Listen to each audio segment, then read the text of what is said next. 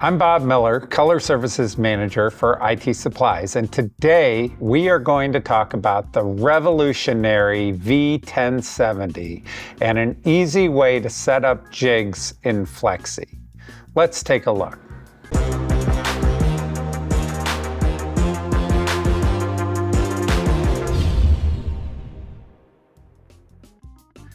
Flexi is one of the leading edge RIPs when it comes to embracing new technologies like the V1070.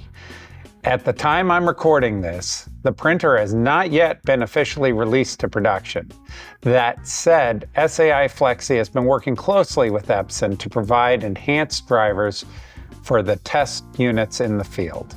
Let's jump onto my desktop to see how this software works.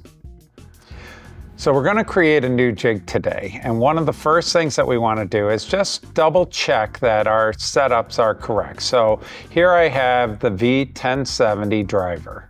And I'm going to click the down arrow next to it. And we're going to go to uh, default job properties.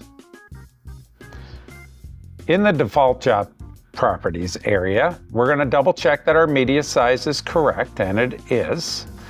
And um, we're going to uh, drop down all the way to the bottom here where we have jig. So here we can define a jig layout. Let's click on that. All right, so here you can set up your media size. You can set up each jig size. So we have an 8 by 11 media size. We have a 2 inch by 2 inch jig size. The spacing between each piece of the jig, uh, each spot, is 0.3 inches. So uh, we can make any adjustments we want here um, in order to make a jig for whatever the purpose is. Here, I'm also, I've gone ahead and pre-saved some other jigs. So like I have a 3.75 by 3.75 coaster jig.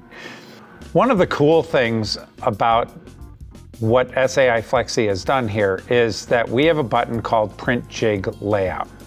So when we go and we print the jig layout, we can print that on translucent material.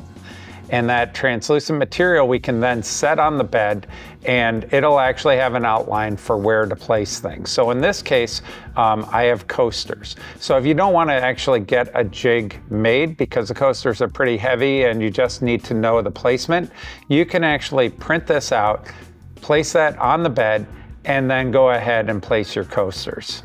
Uh, the other option that you have here is we can go to save as EPS. So if we do that, we can then give that EPS file over to a jig manufacturer and they can create the jig based on the dimensions and everything that you see here. So you can print the jig layout, you can save it. So um, also, one last thing that I do want to mention is once you have everything defined, make sure that you save it as one of your jig layout presets. So right here at the top, we have this little disk icon with the yellow. That is the Save As button. Go ahead and click the Save As button, name the layout that you're saving, and then uh, go ahead and save it. You'll be able to bring it up later very easily as I did here.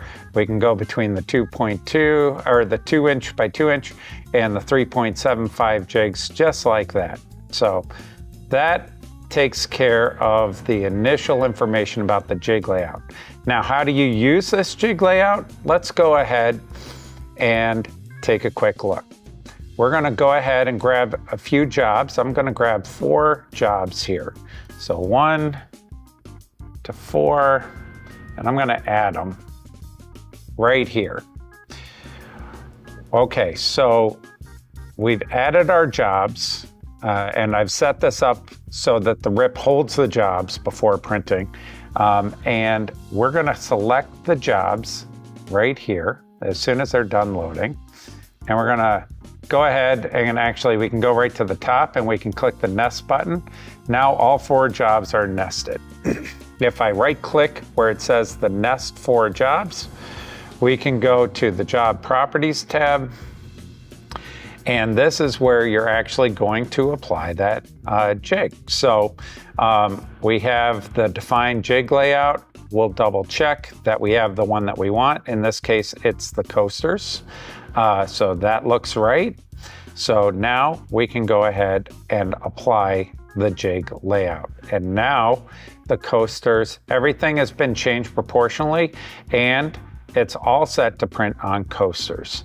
Uh, one quick thing, we can go back to define jig layout. We can go to the two by two jig that I created. We can hit okay. And we can uncheck this apply and reapply it. And now you can see it's set up for that two by two jig. And then if I want to uh, click on these and select them all, I can actually go and print up to three sets and then those will all be printed when I go ahead and click send. So as soon as I send this to the printer, they'll be sent uh, and uh, can be printed right on the jig that you've created. I hope you found this video useful, and I certainly would love it if you would take the time to like, comment, and subscribe to our YouTube channel. When it comes to printing and color management, IT Supplies is here to help your business succeed.